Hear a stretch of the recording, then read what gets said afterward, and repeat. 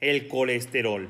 Te han hablado muchísimo del colesterol bueno, malo, que es malísimo para la salud, de la burbuja del colesterol.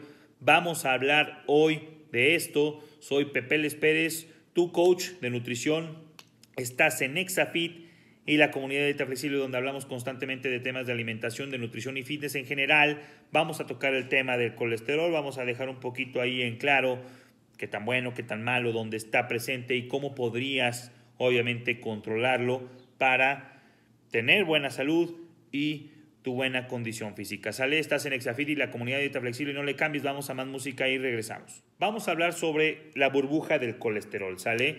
De la molécula del colesterol. Está súper satanizado, vamos a desatanizarlo. Realmente muchísimas personas me buscan, oye Pepe, les tengo una condición donde tengo que controlar ya el colesterol.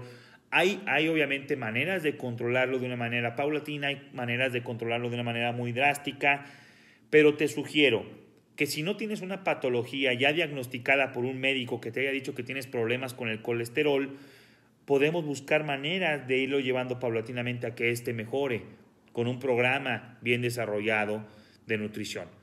¿Sale? Si ya eres alguien que tiene una patología ya diagnosticada, pues hay métodos que obviamente pueden reducirlo, pero tarde que temprano tienes que volver a consumir colesterol. El colesterol tiene muchísimas funciones dentro del cuerpo que lo tienes que seguir consumiendo. No puede haber una persona sin colesterol, es mentira. Es mentira que te digan, yo tengo una, una dieta a cero colesterol, pues digo, se podría, pero tu cuerpo de todas maneras tiene colesterol para trabajar, tiene muchísimas funciones hormonales, de, manejo de, vitaminas, liposolubles y demás, hormonas liposolubles que también este, están trabajando, entonces es una cuestión que tu cuerpo orgánicamente la necesita, entonces el colesterol vamos a desatanizarlo un poquito, vamos a hablar sobre este tema, ¿sale? En la burbuja del colesterol está el colesterol bueno, sale que es el HDL y el colesterol malo que es el LDL bueno y malo es como se le conoce pues en el largo cotidiano de la nutrición. Ambos se necesitan en el cuerpo, pero obviamente la mayor presencia del HDL sería lo más beneficioso. ¿Sale? Eh, la molécula del colesterol, ¿dónde viene? Viene de las proteínas de origen animal. Toda proteína de origen animal trae colesterol. Sale toda. Las proteínas de origen vegetal obviamente están ausentes de colesterol. Entonces, si te dijeran, oye Pepe, ¿de qué manera puedo yo producir un cambio drástico para no tener colesterol en mi cuerpo, vaya, de manera exógena o comida? Evidentemente sería quitar las carnes, todas. Pero como te dije, es para alguien que ya le dijeron un diagnóstico, te lo tienes que quitar porque traes un problema gravísimo de colesterol.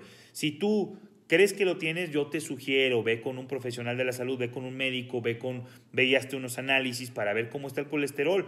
No porque te dijo la tía, la vecina, no hombre, es que el colesterol es malísimo. No, el colesterol tienes que consumirlo. Y de hecho, ¿por qué lo vamos a desatanizar? Porque hay tantas cosas malas y peores que el colesterol que seguramente muchísimas personas consumen, que le estás desenfocado, estás dándole mucho, estás cuidando los centavos y descuidas los pesos, ¿sí me entiendes? Entonces, ese es el tema de lo que vamos a hablar hoy sobre el colesterol, ¿sale? Una molécula está presente en todas las proteínas de origen animal, ausentes en las proteínas de origen vegetal, ¿sale? El tema es cuánto colesterol, cómo lo debo de, consumir, Pepeles, eso es lo que vamos a seguir hablando del día de hoy. No le cambies, soy Pepeles Pérez, tu coach de nutrición, seguimos en Exafit y la comunidad de Flexible hablando sobre el tema del colesterol, satanizadísimo. No te vayas, vamos a más música y regresamos. ¿Qué onda? Soy Pepeles Pérez, tu coach de nutrición, seguimos en Exafit y la comunidad de Flexible hablando sobre el colesterol. ¿Qué satanizado lo tenemos cuando realmente tiene muchísimas funciones orgánicas dentro de nuestro cuerpo? ¿Sale? Muchísimas funciones hormonales, de síntesis de hormonas, para la bilis, para este, realmente su problema es el exceso del colesterol. ¿Sale? Y ya te dije en el bloque anterior dónde están en las proteínas de origen animal. ¿Ok? ¿Quieres tener un mejor control del colesterol? Está muy fácil. Hay que tener noción, hay que tener, saber cuál es la cantidad de proteína que tu cuerpo necesita. Eso es lo que le va a poner un orden al exceso de colesterol. Primero, no consumir lo demás. Todas las personas y todas las personas que se meten en las dietas, que sobre todo que están de modas, que no tienen un correcto balance energético, este, te dicen, pues tú consume proteína, la proteína es buenísima, pero ¿cuánta? ¿Cuánta necesito? No, no, no, pues mira, consume pollo, si tú consumes pollo, pescado, te dije, todas las, todas las proteínas de origen animal tienen colesterol. Entonces, no, si tú consumes pollo, pescado y esto y esto y esto lo otro, obviamente te va a ser muy saludable. No, o sea, de hecho, el consumir proteína este, a lo loco, llega el momento donde el cuerpo ni siquiera la necesita. Tal vez tu, nivel de ejercicio no es, o sea, no es suficiente para toda la proteína que consumes. Tu cuerpo la va a orinar. O la podría hasta almacenar como grasa. Entonces, ¿por qué? Porque obviamente trae calorías, ese es el tema. Entonces, manera de solucionar de la mejor forma el colesterol que estás consumiendo, hay que controlar el nivel de proteína que consumes y este que esté balanceado para obviamente determinar el tipo de ejercicio que haces. Si vas con tu nutriólogo y te pone el nivel de proteína a ti, a tu mamá, a la vecina, pum, pum, a todos el mismo nivel de proteína, híjole, eso no te va a funcionar. Necesitas saber y conocer según la persona, según su sexo, según su edad, según su metabolismo, según su porcentaje de grasa y según su actividad física, y también considerar las calorías que la persona puede hacer este, por gastos de su trabajo, de sus labores cotidianas, qué nivel de energía darle y qué nivel de proteína tiene que consumir. Con tú controlando ese nivel de proteínas, tarde o temprano, si tienes un excedente de colesterol en tu cuerpo, se va a balancear.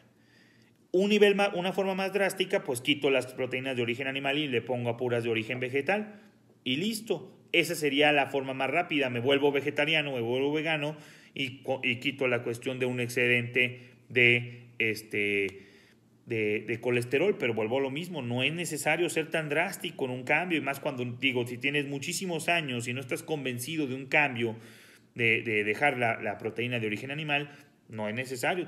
hay, hay modos, hay formas de hacerlo, ¿sale? Seguimos hablando sobre la, el colesterol, no le cambies Vamos a más música, regresamos aquí a Exafit y la comunidad de dieta flexible. Vamos y volvemos. ¿Qué onda? ¿Cómo estás? Soy Pepe Les Pérez, tu coach de nutrición. Seguimos en Exafit y la comunidad de dieta flexible hablando sobre el colesterol. Ya en bloques anteriores te dije en dónde están presentes, obviamente cómo hay que desatanizarlo porque tu cuerpo necesita el colesterol para trabajar, lo necesita. No puede haber una persona totalmente sana sin colesterol, es necesario que esté presente en el cuerpo para muchas funciones hormonales y de síntesis de de proteínas, inclusive de insulina, es necesario el colesterol, ¿sale? ¿Cuál es la principal enfermedad que, produce el colesterol alto y por mucho periodo de tiempo? Es la asterosclerosis, que es una enfermedad donde se, las paredes del, del torrente sanguíneo, las venas, las arterias, se rellenan de una capa muy densa de grasa y esas arterias se vuelven duras, se vuelven muy rígidas y pueden después ocasionar problemas en la salud. Entonces es la principal la principal enfermedad que produce el colesterol. Y esto obviamente va, va puesto pues, por el colesterol malo, el LDL, LDL, que es el que te digo que es el que se le conoce vulgarmente como el colesterol malo. Y si esto lo balanceamos con una buena dosis de proteína para que obviamente vaya bajando su dosis, pues evidentemente ese tema a la larga se podría ir solucionando esa patología. Si ya está muy drástico, pues evidentemente se ocuparía de una cuestión de un médico para que te trate con algún tipo de medicamento que ayude a esa, a esa enfermedad. Ahora, ¿qué otras, ¿qué otras cosas pueden ser un factor de riesgo en la cuestión de, este, del colesterol? Hay muchísimas otras cosas que pueden estar también afectando la falta de actividad física. La falta de actividad física también puede ser un detonante para que el colesterol no esté en su sitio. Hay que hacer actividad física, hay que hidratarse bien, porque la hidratación también, todas las, todas las grasas este, también tienen un, un poquito de factor de moverse a base de hidratación.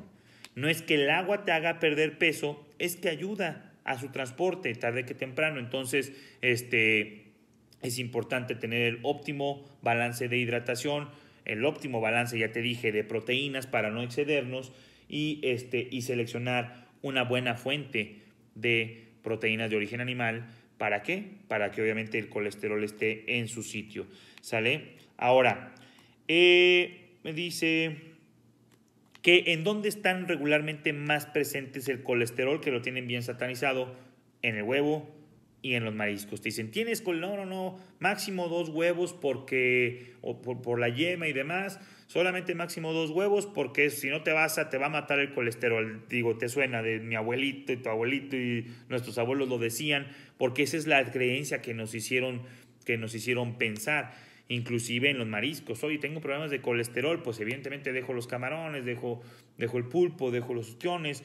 Sí, como te dije, todas las proteínas de origen animal tienen colesterol en diferentes dosis, evidentemente, pero el tema es, si tú balanceas, si tú consumes la cantidad correcta de proteínas y de grasas que tú necesitas en tu día, o sea, si tú tienes una dieta bien balanceada, bien estructurada, carbohidratos, grasas y proteínas, donde obviamente estés hasta en un déficit calórico o en un superávit calórico porque buscas aumento de masa muscular con el correcto entrenamiento, va a venir el control del colesterol. No necesitas hacer nada, nada extra, ni tomar ningún suplemento, ni tomar ningún medicamento, no. El colesterol tarde que temprano se va a balancear porque tu cuerpo está hecho para poder saber cómo balancear estas moléculas de colesterol dentro de ti. ¿Sale? Entonces es importante tener un buen balance energético. Si tú necesitas ayuda, no sabes de qué te hablo en cuestión de macronutrientes, mándame un mensaje y búscanos como comunidad de Flexible en Instagram o en Facebook. Te podemos apoyar con esto. ¿Sale? Seguimos hablando sobre el colesterol y volvamos a música y volvemos aquí a Exafit y la comunidad de Flexible. No te vayas, regresamos. ¿Qué onda? ¿Cómo estás? Soy Pepe Les tu coach de nutrición. Seguimos en Exafit y la comunidad de Flexible hablando sobre el colesterol. Satanizadísimo. ¿Sale? Lo necesitas tu cuerpo, necesitas consumirlo. De hecho, tu cuerpo necesita tener colesterol. De los dos, obviamente más del bueno que del malo, pero, realmente viene junto con pegado. Pero si tus proteínas son de buena calidad, evidentemente el colesterol que van a traer es del HDL, que es del bueno que tu cuerpo necesita. ¿Sale? proteínas de origen animal de buena calidad. Ya te dije, un cambio muy drástico sería pura proteína de origen vegetal. Evidentemente el colesterol, como no está presente ahí, se va a ir hacia abajo. O sería un cambio muy drástico. Pero vaya, hablando del tema de colesterol, hay otras grasas que seguramente puede ser que consumas y están peor del colesterol que el colesterol, perdón, y nadie habla de ellas. Las grasas transgénicas, las grasas trans, son muchísimo peor que el colesterol, pero muchísimo peor. O sea, para que el colesterol te haga daño, tienes que tener años, años consecutivos donde el colesterol esté muy, muy, muy alto para producirte varias patologías. Ya te hablé de la esteloclerosis o otras, otras patologías que te podría producir, pero hay otras que también están presentes en, en que, que obviamente este, pues, estimulan el que haya cáncer en tu cuerpo, estimulan otro tipo de patologías, este, que son las grasas transgénicas, y estas, las grasas este, hidrogenadas. Y todas estas vienen en la bollería, en todos los productos ultraprocesados, en las galletas, ¿sale? Galletas, margarinas, grasas de origen vegetal, ahí están las grasas transgénicas y nadie dice nada. Oye, es que te están vendiendo, no, pues que las grasas de origen vegetal son buenas, mira, estas no te van a hacer daño, pues no traen colesterol, tal vez no vienen con, con colesterol, porque te digo, no está el origen animal ahí, pero vienen con grasas transgénicas que son mucho peor. Entonces, ¿cuál sería mi recomendación? Siempre que compres cualquier producto procesado o ultra procesado, está muy fácil saber cuáles son, cómo los identifico, Pepe, pues todo, todo producto que traiga código de barras, todo producto que venga en una bolsa, todo producto que sea industrializado, que venga empaquetado, ese es un ultraprocesado. Voltea, ve la tabla de información nutrimental, tiene grasas transgénicas, ¡pum! Tachita. Digo, si te, si te preocupa mucho el colesterol, pues hay que, ser, hay que ser elocuentes con algo. Entonces, si me preocupa el colesterol, que es malo, pues entonces, pues cuanto más las grasas transgénicas, que están muy presentes en, en toda la bollería industrial. Entonces, ahí es donde yo pienso que primero, si te hace más daño la grasa transgénica, primero hay que buscar que esos productos no estén presentes. ¿Sale? Y también el colesterol va a bajar. ¿Me cachas? Ah, un buen control de proteína vegetal, que sepas cuál es la cantidad de proteína que debes de consumir y luego también ir quitando y dejando para poco las, este, las bollerías o los productos que son altamente procesados. Helados, este, galletas, margarinas, mm, te digo, pastelitos, gancitos, pingüinos, todas esas cosas traen grasas transgénicas. Entonces, de vez en cuando, como bien te lo he dicho siempre, el exceso es lo que daña. De vez en cuando, padrísimo. Pero tú puedes ver muchísimos productos que te venden como galletas fit, como barritas fit, y muchísima gente que, que las consume a diario, porque ¿qué crees? Es que me dijeron que esta barrita energética es muy buena.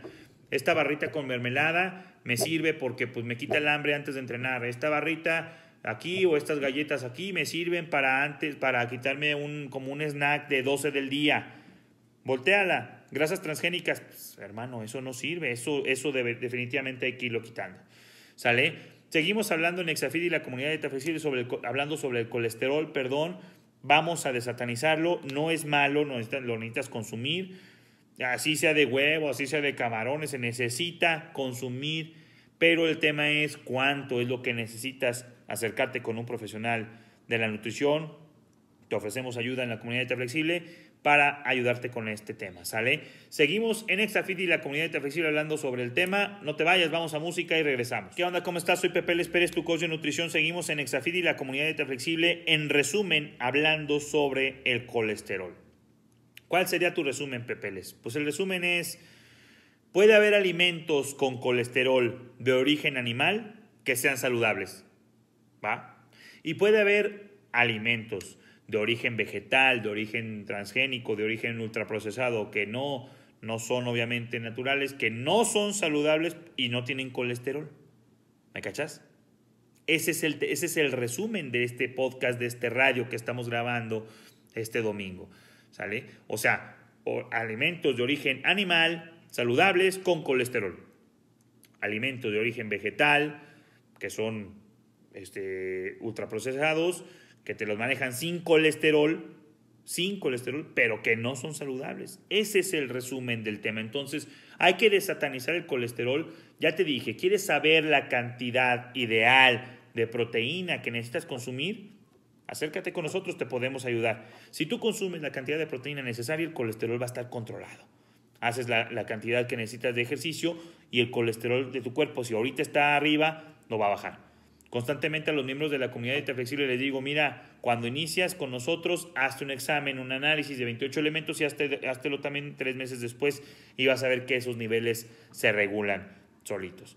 ¿Sale? ¿Te interesa más información? Búscanos en redes sociales. Yo soy José Luis Pérez, Pepeles Pérez. Soy Pepeles por Pepe Luis. Me puedes buscar en Instagram como arroba pepeles-pérez o nos puedes buscar como arroba comunidad-dieta flexible en Instagram o arroba comunidad dieta flexible todo junto en Facebook para más información de nuestro programa de nutrición.